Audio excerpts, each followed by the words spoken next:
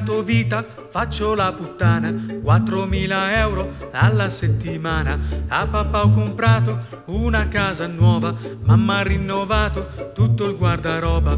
Quando ero impiegata mi sentivo pigra, ora esagitata a causa del Viagra.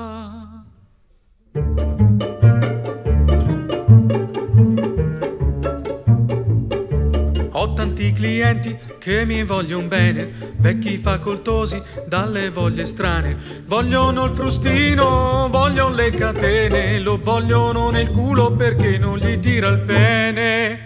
Che bello lavoro